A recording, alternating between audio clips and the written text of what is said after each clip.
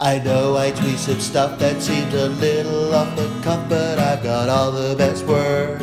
Thank you, thank you very much. And I won't speak to Sad Sadiq, the London guy, unless he has an IQ test first. I'll beat him bigly badly, then I'll go a little madly on my official Twitter. And then I go and spoil it all by tweeting something stupid like covfefe. Thank you, thank you very much. I can see it in your eyes that you despise the same old lies you thought I said before.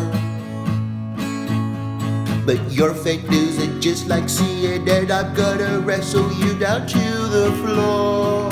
Thank you, you're so beautiful. I shitpost every day to find some clever words to say so I could look really smart.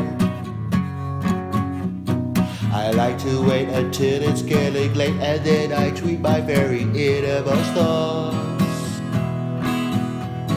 The time is right, some bullshit fills my head and I do warm-up stretches to prepare.